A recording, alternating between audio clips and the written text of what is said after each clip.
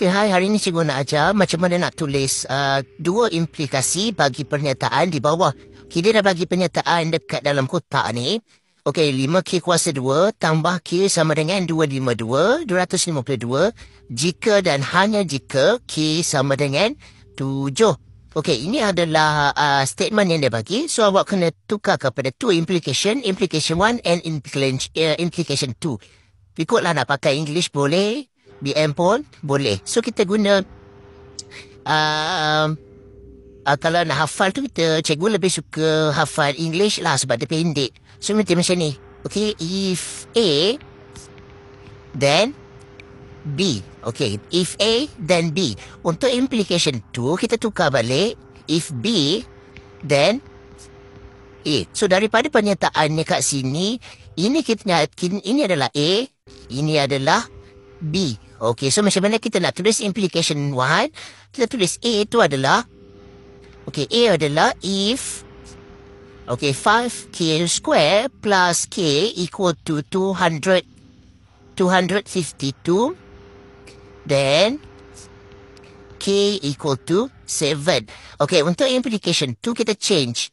Okay, so if K equal to 7 then 5K square plus K equal to 252. Okay, that, uh, ini untuk uh, two implication.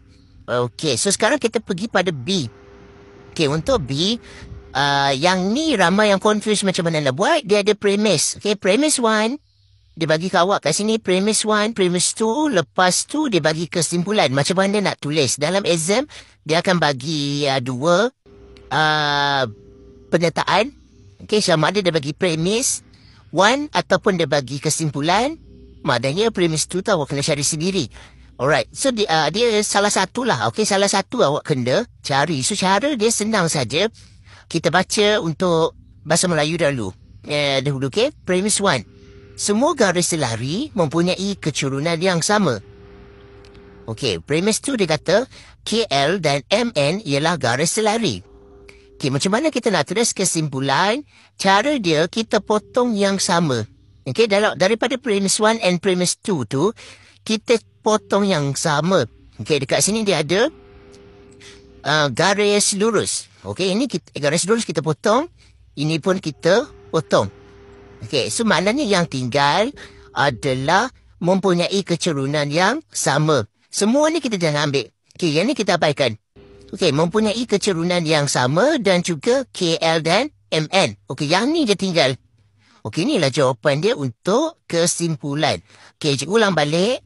Potong yang sama. Garis selari, garis selari. Oh, potong. So, bila yang uh, yang tinggal, itu adalah jawapan dia. So, kesimpulan, kita start dengan KL dan MN. So, kita tulis KL dan MN mempunyai keturunan yang sama. Okey, jangan tulis short form eh, tulis penuh. Okey, kalau bahasa Inggeris dia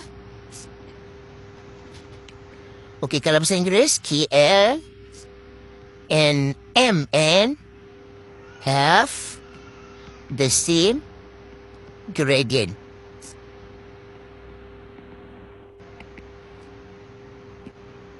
Okey, kita pergi kepada bahagian C. Untuk bahagian C, dia kata buat satu kesimpulan umum secara induktif bagi urutan nombor yang mengikut pola berikut.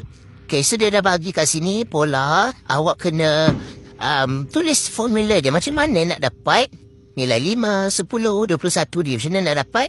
So dia ada formula. So senang saja awak tengok kat sini yang mana berubah kita tukarkan dengan uh, variable. Okay, kat sini berubah adalah 1, 2, 3, Okey, dekat sini pun berubah juga. Satu, dua, tiga. So, yang berubah tu kita change dengan N. Yang uh, constant macam tiga, dua ni kita kekalkan. So, macam mana nak buat? Tu dia jadi tiga. Okey, dalam bracket. Dua. Okey, N. Tolak N. Okey, di mana N sama dengan satu, dua, tiga dot dot dot dot dot. Okey awak tulis dot dot dot. dekat sini maknanya bila N sama dengan satu, ni N ni adalah satu, sini pun adalah satu juga. Okay, sama tak dengan N ni sama? So, kalau next pergi nombor dua. Okay, kalau N tu nombor dua, kita tengok pada sini ni dua, ini pun dua. So, formula dia yang ni, tiga, dua, tiga, bracket, dua, kuasa N tolak N.